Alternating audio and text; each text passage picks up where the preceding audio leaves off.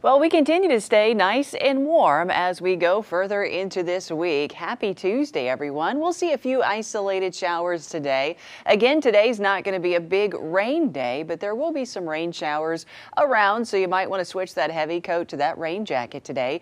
Thunderstorms are possible as we go throughout the day. Tomorrow, we're in need of some rainfall. In fact, as we kind of put our future rainfall into motion here, you can see as we get into a couple showers today, those ice isolated downpours tomorrow. We'll kind of keep that rainfall in the forecast. This is through Friday. You can see we'll get about half an inch to an inch of rain. Some of us will get a little bit more underneath some of those heavy downpours.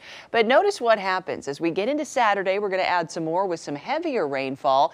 And Sunday, temperatures go up and our rainfall totals go way up. So we are looking at a pretty wet weekend as well. As we take a look outside right now, we've got some rainfall all around us. And yes, some of that will find its way across our area. Some this morning, some this afternoon, some tonight. Again, there's going to be plenty of dry time and it's not going to be a huge rain day today. But notice tomorrow morning we'll begin to see some of those isolated thunderstorms potentially develop some heavy downpours uh, as we go throughout the morning morning and then a couple more as we head into this afternoon. Heading into Wednesday night into early Thursday morning, we've got a line of showers and thunderstorms that are going to come through. This is where we could see the strongest wind, the isolated hail, and some very heavy downpours. In fact, if we are warm enough, uh, we could see some of those turn severe. So make sure that you stay weather aware as we go into tomorrow and early Wednesday morning.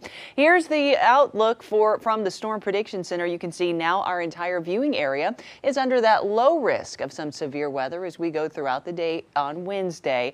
Better chances all throughout Tennessee, portions of Mississippi and Alabama.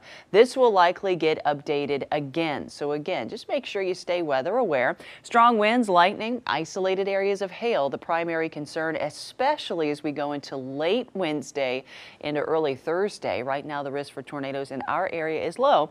We'll continue to track it though. Anytime you've got temperatures this warm, and especially if you get some sun breaks, that destabilizes the atmosphere, adds a little extra juice, and that's when we could see some of that uh, those thunderstorms become severe late Wednesday. We'll watch it for you.